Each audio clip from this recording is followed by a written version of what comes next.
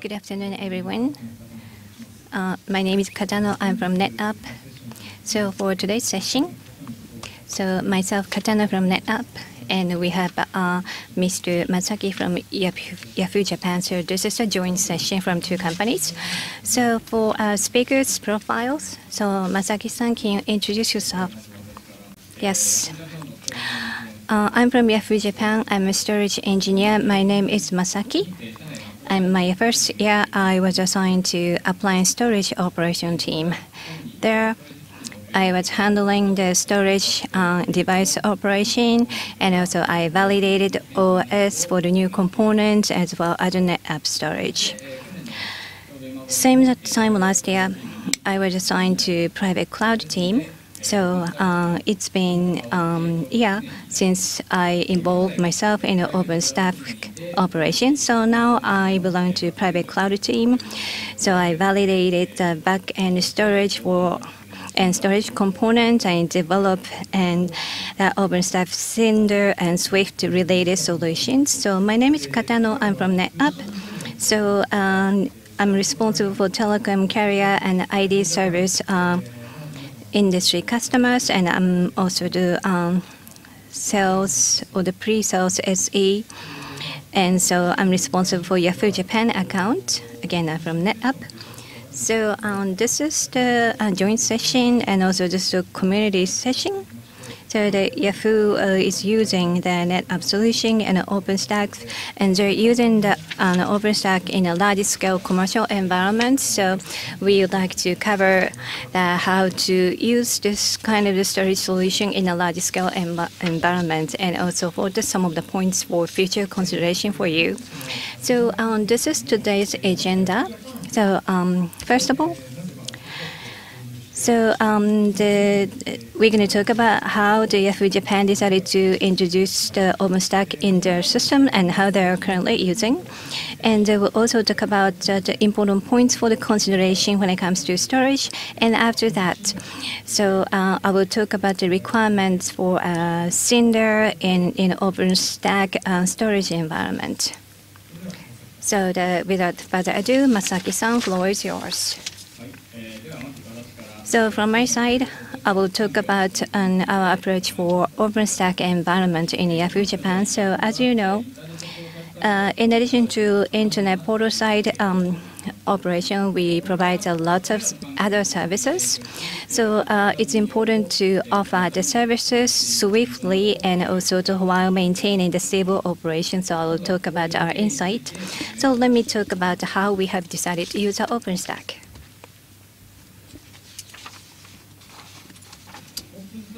Before OpenStack um, deployment, we were using our uh, the homegrown IaaS environment as a private cloud, but there's a lot of issues with that. First of all, API format is proprietary and also the, it's quite difficult to develop the IaaS environment and operate with the limited amount of resources, and so therefore we have to allocate a lot of human resource for the operation, uh, which is slowing down the new functionality development.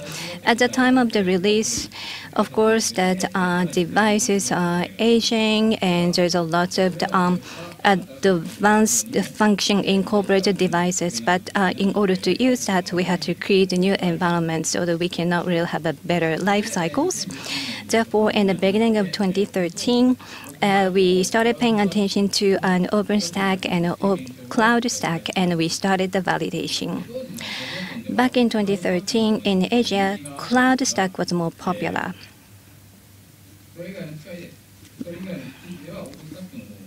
But outside of Asia, the OpenStack was more popular. So after the validation, so uh, because of the flexibility for the custom development and also the information availabilities, and we have decided to choose an OpenStack. So and six months after we started the validation of the OpenStack, we uh, were able to uh, release the OpenStack in our development environment. So it's been two years since we started using the OpenStack in our environment. Uh, here's the reason why we chose the OpenStack among all of the IR software. As I pointed out, there's a great momentum in OpenStack adoption globally. Uh, earlier stage, there are not much uh, software available uh, for the OpenStack, but there's a, a, strong user community in Japan. They're holding the seminar and the workshop, and even we encounter some issues by asking the question to other users and vendors, we are able to solve the solution. Well, the, well, we come up with solutions. So we are the largest OpenStack users here in Japan. And for some functionalities, and uh, we don't have much choices to for the hardware in the backend. In these cases, we asked uh, extra work to vendors, so the vendor pre um, prepared some uh, unique driver for that.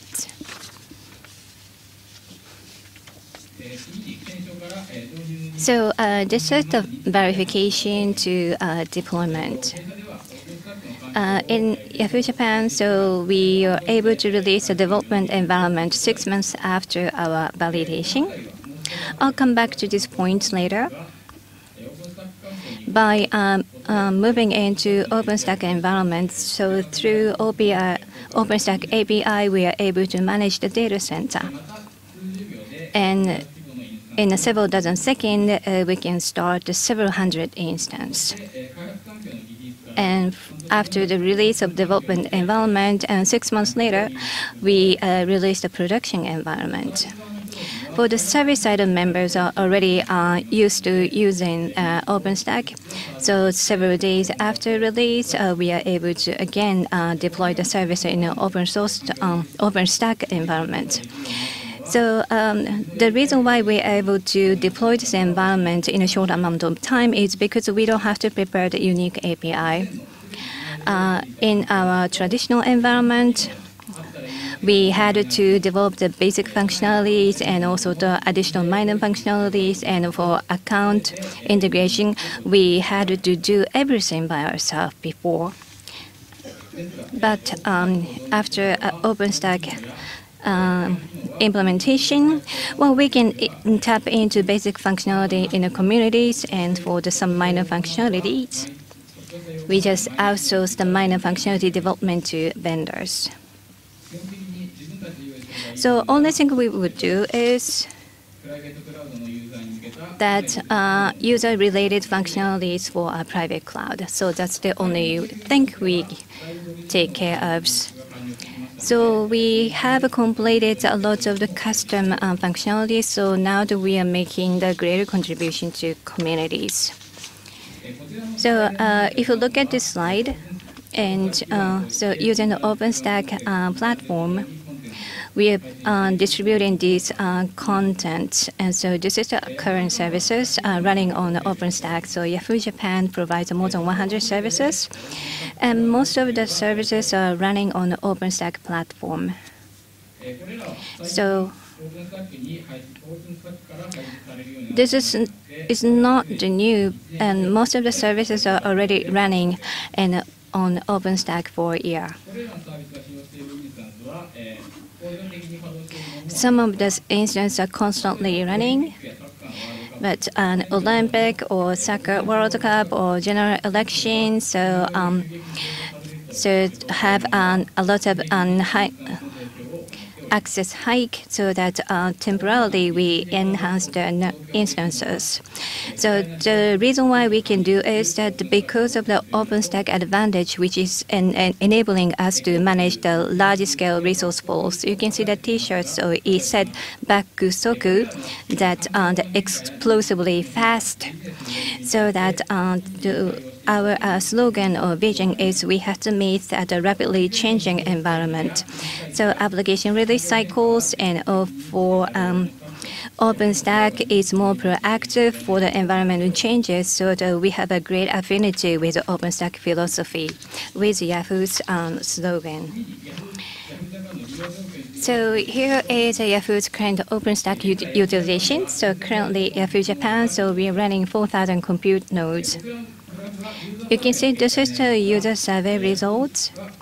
And so that you can see the Yahoo's um, position here. In addition to computer node, computer core, 96,000 for instance. So you can see the 50,000. So the, looking at the survey results, we are among the, the top tier users. So that we can say that we are the heavy users. So next is about our private cloud service uh, service offering status. Under our environment, there are um, development environment and production environment instances. In total, we have about 50,000 instances, maybe half and half for the development and productions. So those instances availability is 99.996%. So uh, this is uh, satisfying the uh, quality level. Currently, traffic density has grown six times comparing with the physical environment. The data volume capacity is 20 petabyte, and the cluster offered is about 20 clusters. This uh, 20 cluster is quite liquid, so there are some closed clusters or newly built clusters as well. And overall, they are cycling the life cycle or rolling the life cycle. So uh, there are 11 team members managing this private cloud. There are some members who have been in this private cloud, cloud team from the beginning, but OpenStack is a combination of the network server stretch and so forth, uh, which under the IaaS technology, so infra technology involved members are also in our team. Development and operation responsibilities are allocated, but other than these, we have appliance operating members as well. In case of the troubles on the OpenStack, the private cloud team responds responds. However, when it comes to the actual device problems, the relevant team members try to solve those issues. So uh, each team members are collaborating in closely.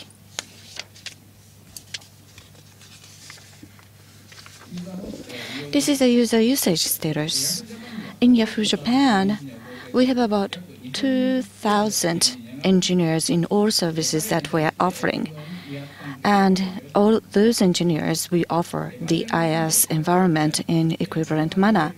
When the uh, VM uh, causes failure or performance degraded, the uh, Office OpenStack operation team swiftly respond to those. Private cloud team as a part of the IaaS environment proliferation activities, we uh, periodically hold seminars. This was close to the engineers in the beginning, but recently we see the interest from other uh, team members, and they have started to participate. Maybe thanks to this uh, seminar effect, this uh, usage is proliferating over the engineers, non-engineer employees as well. And there are about 500 instances operated in a day. Uh, however, uh, in a month's time, half of this is uh, vanishing or eliminated. Probably eh, because it is a self-service environment, they deploy with some space or room, and after the release, they eliminate those. And in a private cloud environment, all are operated by ourselves, so in comparison to the public cloud operation, the cost was re eh, significantly reduced. Under the regular specification, you may not see a huge difference, but the specification that we require, which is about two core memory, 12 gigabytes uh, under uh, Yahoo. So with this capacity, the difference is huge. So uh, rather than using the public cloud, we have reduced the cost by 97%. So indicate to the operation status, I would like to give you a tip. This is a photo of the Tokyo Tower, which is a radio tower, very famous one in Tokyo. Under our OpenStack, we use a stretch component, which is consisted of the Cinder and a small size Swift. Swift. So if we uh, overlay all the disks, it uh, adds up to 377 meters. Tokyo Tower is 333 meters, so our disk number is higher, or our disk height is not higher than this Tokyo Tower. So next, uh, I would like to talk about the benefit of using OpenStack.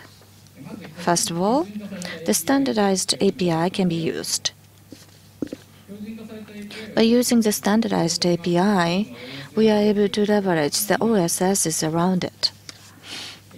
To date, these areas had been uh, prepared by ourselves, so new IaaS environment establishment or new development was uh, slowed down.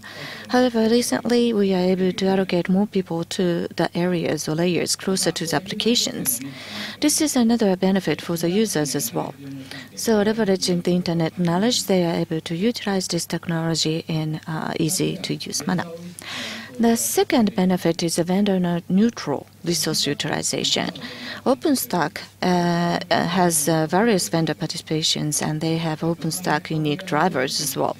So oh, we have more options on the hardware resources, and that's able to have the abstraction of the hardwares. Thirdly, the data center abstraction. OpenStack implementation allow us to reduce the time of the time required for the orders or delivery for the servers. So like securing or wiring network design, those uh, things that need to be considered by the users are no longer necessary and thus deployment of the machines became easier. And not only limited to the virtual machine offering, but orchestration deploy is possible, so that is a big benefit of having the OpenStack. So this is an image of how we offer the service to the users. User uh, use the virtual machine via the control panel that we prepare. Basically, the resource management is done by the operation side and the user side uh, released from the cumbersome activities such as to select the devices or the ordering those. So uh, clustered data center or hypervisor uh, types of production or development or storage uh, network, they just need to choose out of the box that is prepared.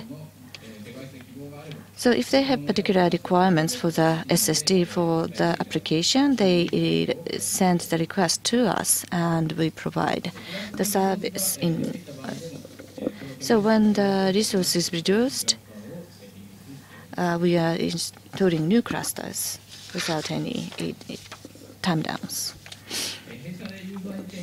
So the integration interface that we are offering is as shown here. This UI offers the basic functionality of the OpenStack and the cluster-based residual resource uh, statistic, information of virtual machine uh, search uh, functionalities are uh, on here. Availability in zone-based usage status can also be confirmed. Initially, you may not need the virtual machine, but as you grow larger over time, you need to consider the disaster recovery and distribute the data in both uh, east and west virtual machines. So this would be a useful tip for you in such event. So this UI allow the uh, uh, startup of the cluster-based deployment.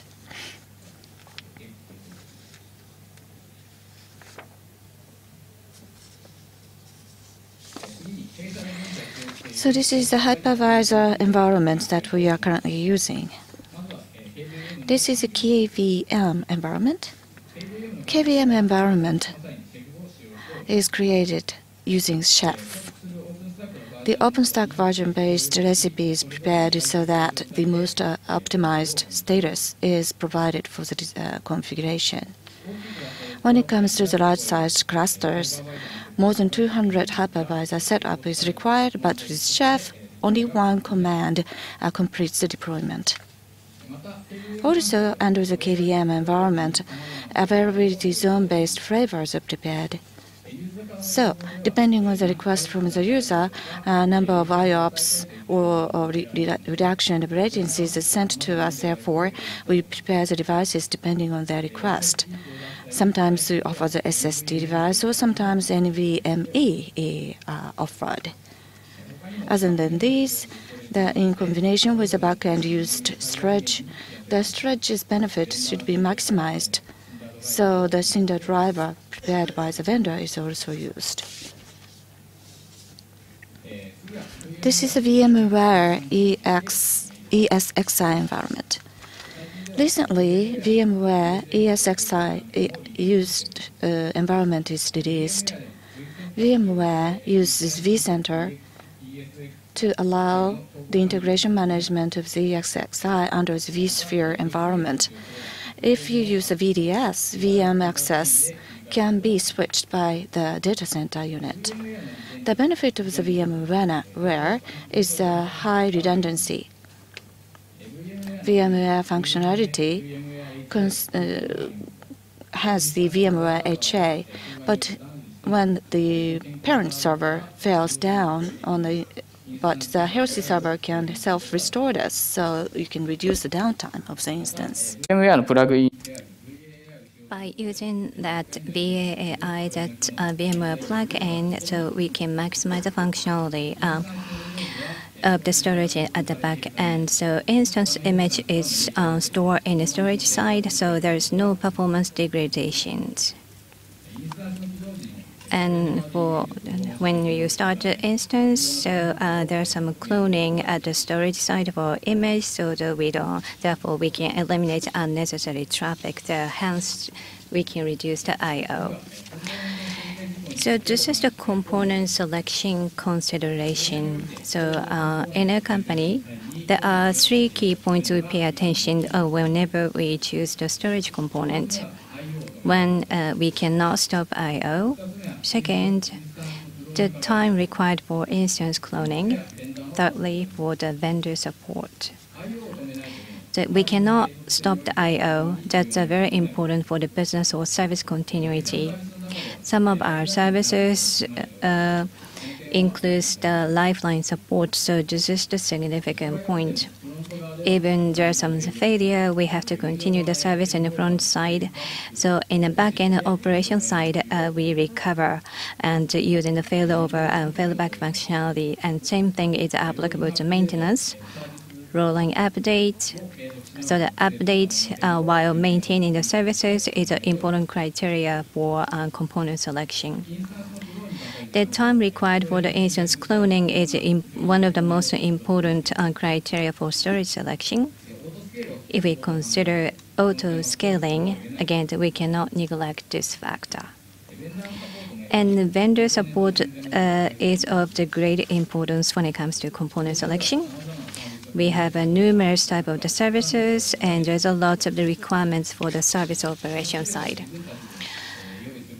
And to meet the requirement by ourselves, uh, it's a lot of work. Therefore, we need a vendor who can listen to outside requirements and a vendor who can collaborate with us to meet the end user's requirements. So that's what, that's why this is the, another important criteria.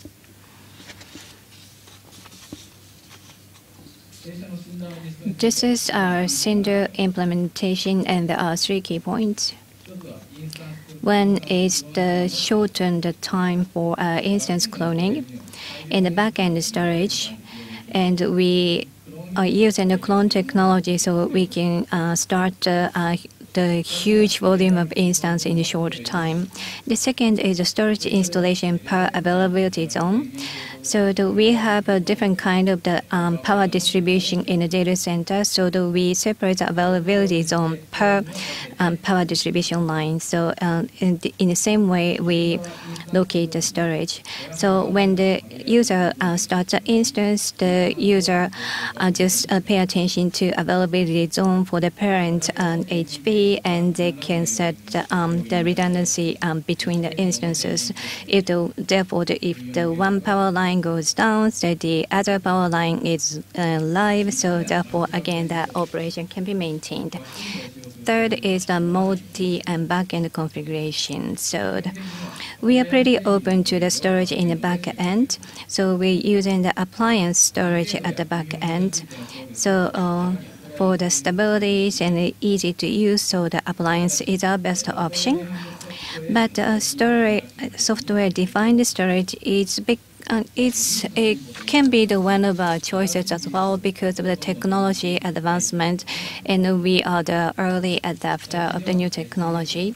So uh, nowadays, that uh, SDS have some um, technology and so um, for the, the other component and other one of the different kind of integration. So that's uh, quite important or interesting point. So, so far we have talked about that um, OpenStack environment in our side. So uh, let's talk about why we have decided to use the NetApp storage. Outside of OpenStack environment, uh, we are the heavy user of the NetApp. So we have a lot of engineers who have a good knowledge of NetApp. So that's the one of the important reason. So um, because uh, some some of the components are designed to protect the data, such as Cinder and other. We have uh, uh, drivers such as FlexClone, uh, which can leverage the NetApp functionalities. S these drivers, we don't have to change the API in OpenStack, so um, that can reduce our development workload. And so we have, uh, again, the diverse services in IaaS environment, so I believe the Flex Clone is a quite beneficial technology. And even before we uh, move to the virtual environment, we have been using the NFS, Common File Storage. The NetApp is quite strong in this area. So uh, Manila Common File Storage component is attractive choices from NetApp. Therefore, and again, uh, we have to have a very collaborative vendors uh, for the continuous support. So that uh, so that we can accumulate the knowledge and experience. So we call it just co-creation.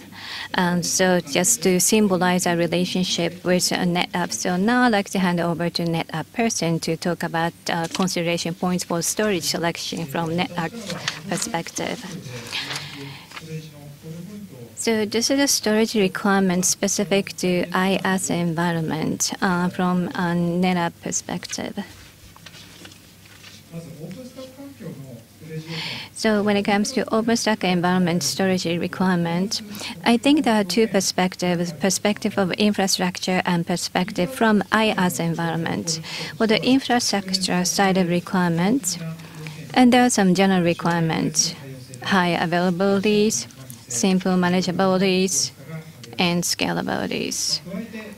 And also, well, when the Monster VM emerges, we have to make sure that Monster VM doesn't really have any impact in other VM. So you have to have a finer I/O control in a large-scale cloud environment, and that uh, data volume is quite high in the storage, and the system disruption has a huge impact on the user side.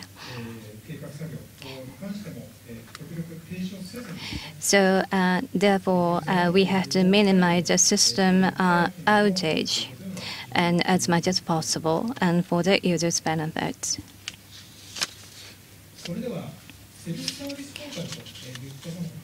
So if we consider uh, self-service portals, and what is do you think is a requirement? So um,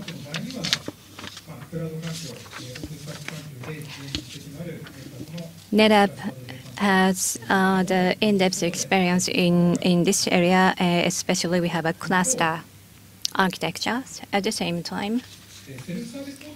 For um, self-service portal requirements, well, we have to understand how the users are using the self-service portal. So the OpenStack users they create a tenant uh, from the self-service portal, such as Horizon. So for number of instances and number of CPU core and storage capacity, it's set per tenant. So uh, here's what users do for tenant. Commonly done work is the instance creation and so the creating the backup using the snapshot and the template upload. Traditionally, These are handled by an IT department uh, for the virtualization, for instance, for the backup. Sometimes the backup puts a higher workload in the system.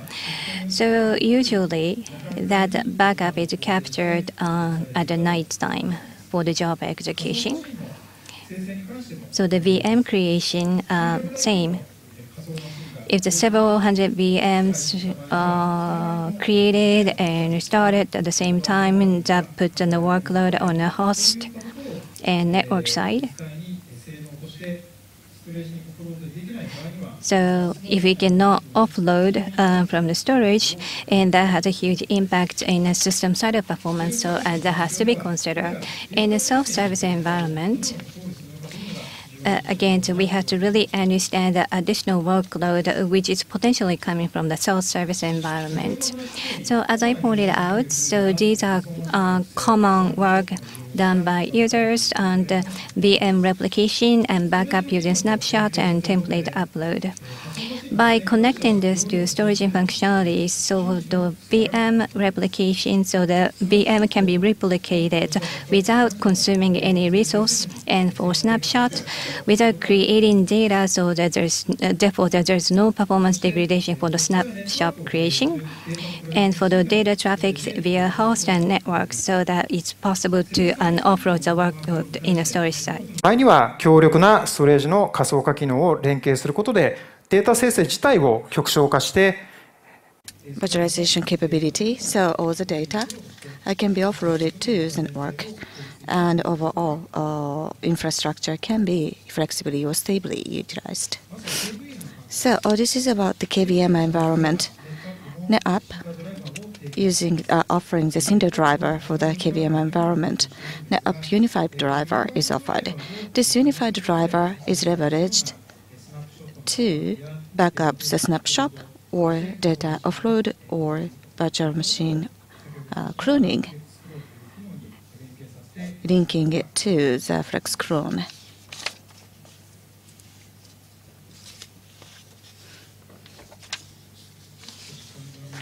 So given the time constraints, let me skip this slide. Next, I'd like to talk about the VMware environment.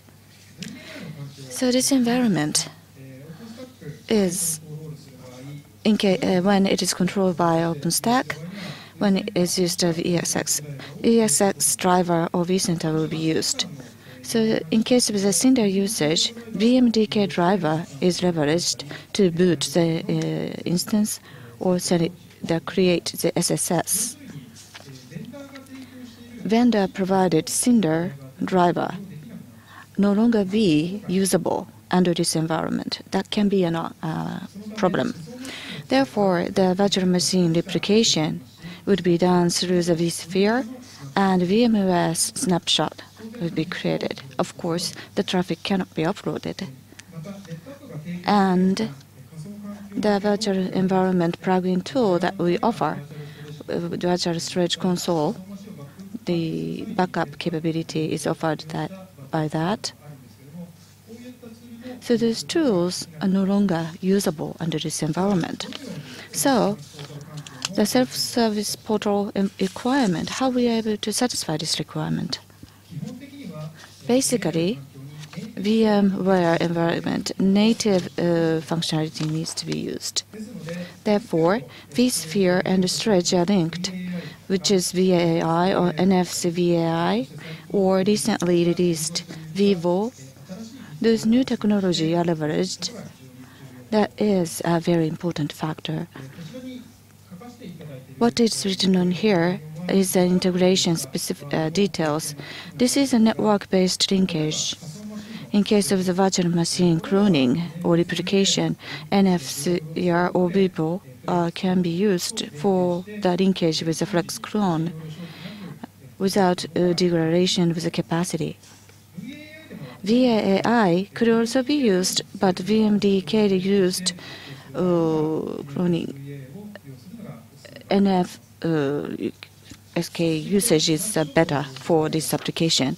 And in case of the snapshot, unfortunately, Snap VAAI or NFS VAAI uh, function would not uh, supplement this capability requirement. So V/6 released VVol uh, usage needs to be considered. By using VVol, VM snapshot can be linked to the uh, snapshot, the VM clone. But this is a new functionality, so how you deploy this functionality needs to be done with great caution. Lastly, data creation offload. So this functionality, VAAI or NFS VAAI, can be leveraged for this offloading. So with this, KVM vSphere environment have been explained. But hypervisor, depending on which hypervisor you use, the functionality you need to utilize will be different. So hypervisor, uh, the storage which has a, a relation or linkage capability needs to be chosen. And you have to clarify the requirement for the self-service environment. Lastly, we'd like to ask Mr. Masaki again to talk about his uh, future initiatives.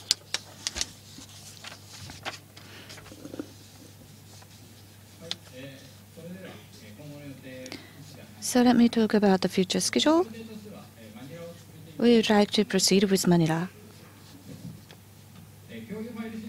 The shared file system is demanded within a company as well, and Manila allows the file sharing over the tenant. And heater-based scale time, uh, you are able to create the common uh, shared file system. So I think there are ways to utilize this. And this shared file system has been widely used since the physical era, and there are many. It is easy to uh, implement the service. And there is no end to this utilization of this service. And those users who were not able to migrate towards the IaaS, I think this is a great feature.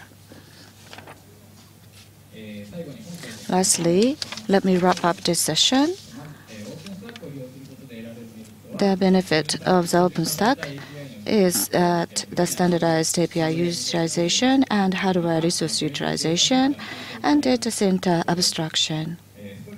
And the stretch component provides the availability, efficiency, and uh, safe environment. So the vendor stretch should be used, which has a proven uh, record and know-how. And for the convenience improvement for the OpenStack environment, the co-creation with the user and vendor is very crucial. So that concludes our session.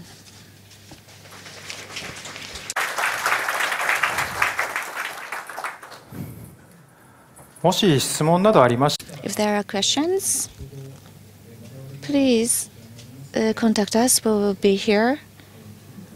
So please contact us directly. Thank you very much for your attention.